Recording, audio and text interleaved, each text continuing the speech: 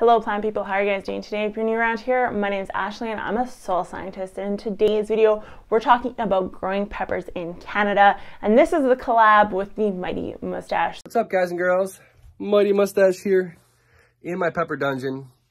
Why don't you swing by my channel after Ashley's video and I'm going to talk about my five favorite super hot peppers to grow, why they're good to grow, what they're good for, why overwintering is awesome when you have a short grow season, and why growing in pots when you're growing pepper plants is king for faster growth and faster production. I'll explain everything. Come on by. But he specifically is a pepper crazy guy. So you're going to want to go to his channel to check out hot peppers and how to grow hot peppers. That is not my mojo whatsoever. I don't know how he does it. Sometimes he eats these things raw. The guy is a lunatic, possible sociopath, but he makes some pretty good content. So you guys will have to go check him out. I personally am going to be teaching you about how to grow peppers in Canada and maybe some specific varieties that you may want to check out. I have hot varieties, but I also have normal varieties as well because that's the varieties that I will chew on. I'm not Bobby. I will not eat a crazy, oily looking, greasy pepper. That's not for me. But if you want to see Bobby suffer, then please, please do go go watch his channel because he's got lots of suffrage videos over there.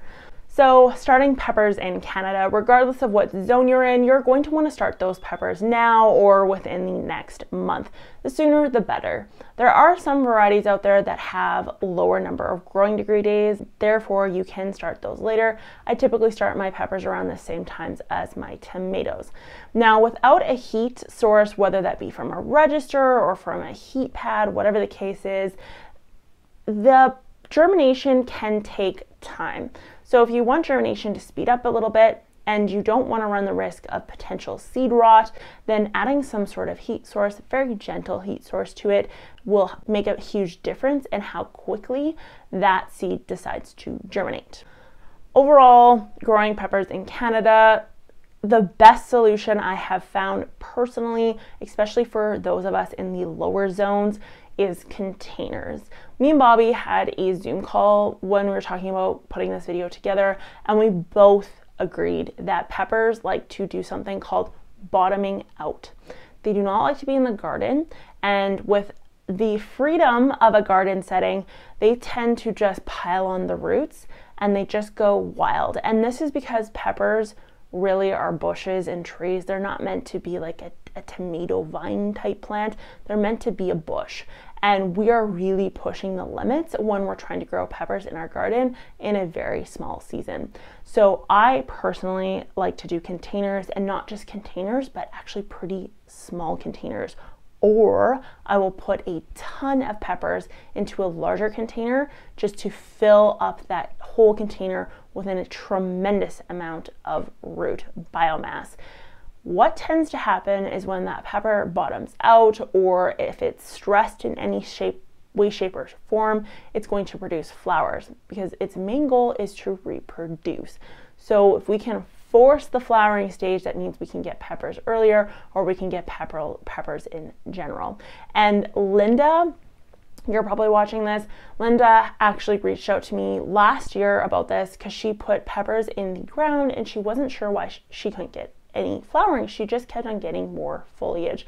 So Linda this year is actually going to try the peppers in the containers. So let me know in the comments down below if you've grown peppers in the garden and if you've actually seen this happen where you don't tend to get much of a flowering state when it's in a garden setting.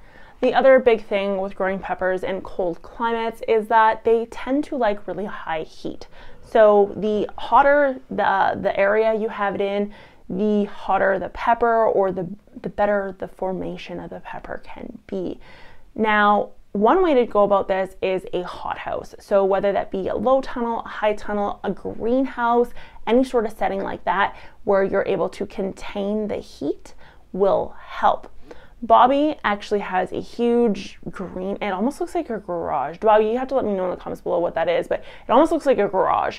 And um, he has his peppers in there. The other thing when I'm growing peppers and even tomatoes in a lot of cases, I really try to wait before putting them outside.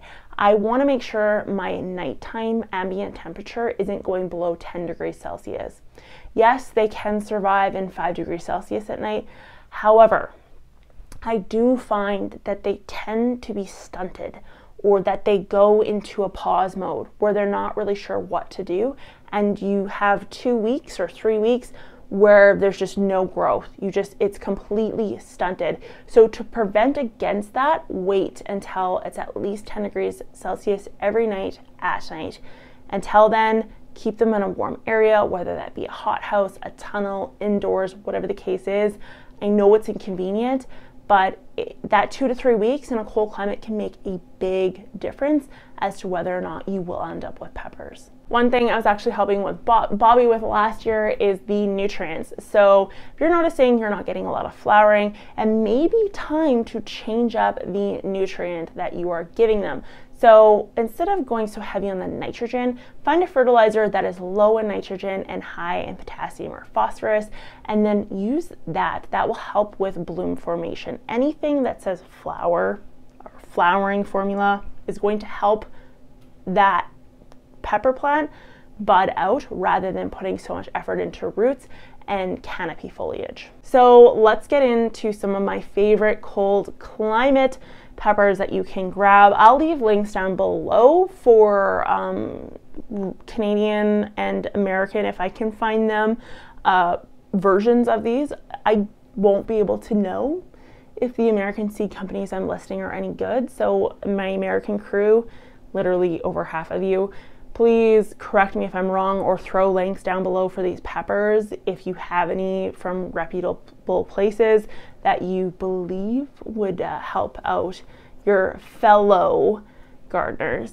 The first one is the red cherry pepper. Now, I've never grown this before, but I'm gonna grow it this year.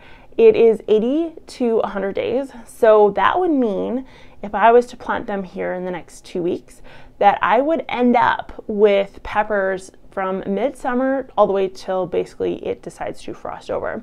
And these are like pop in your mouth mild, like they don't have any kick to them really at all. They, from what I've read, they're kind of more so like a uh, banana pepper, but they're shaped like a cherry. So I think that's really cool. I like the idea of having peppers for more than just the end months and I like that they have a uh, smaller growing season rather than the 100, 120 days that some of the other hotter peppers have.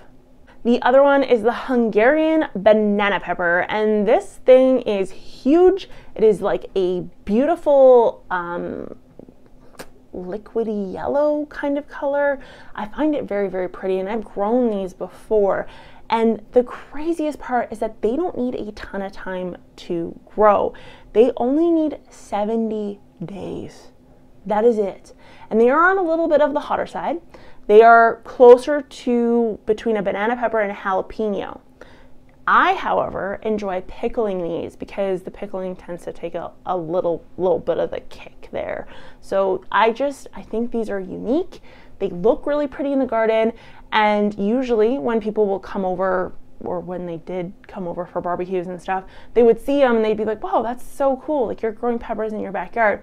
But what they don't know is it only takes like literally 70 days to grow the Hungarian pepper, banana pepper in our climate. So joke's on them. So because they have such a, a much smaller growing degree day, you really don't even have to start these until uh, March and you will still get peppers off these. So you start them a bit earlier, you're just gonna get peppers a little earlier. These are my other ones. I have to put my thing up here because I don't want to screw up the pronunciation of these, but it's a shishito. Shishito? Um, it's a Japanese pepper and it's a 60 day pepper and it's a sweet pepper and they're really tasty. But the, the key word there is 60 days. So you could start these just a month before, not even a month before. Uh, it's time to put these guys outdoors, and you're going to end up with with peppers. If you choose to start these now, you will have peppers before it's time to put these guys outdoors. So they are just, there's such a quick turnaround, which is very ideal for our climate. So if you like jalapenos, there is a savior out there, and it is the lemon pepper jalapeno. So they are a different color than your typical green or your typical red jalapeno, but it is only 60 days again. So very valuable there. And then bell peppers, I love all of them. A huge portion of them can be grown in our in our climate, but I find the ones that do the best are the sweet chocolate bells. They have 57 days. Again, very short growing season. You could start these just a month before it's time to put plants outdoors. But they're just unique. It just gives you this big, beautiful chocolate bell pepper that is tasty. It tastes like a bell pepper. It's not spicy or crazy or anything like that. I hope this got helped you guys out. Um, you can bring pepper plants indoors for the winter time and overwinter them inside if you have the room. If you choose to do this, you will end up with a bush or a small tree, just warning you. Um, and obviously there's pest issues and things like that that you have to deal with. So it's a little bit of an art, but it is possible if you decide you want to keep a pepper plant year after year.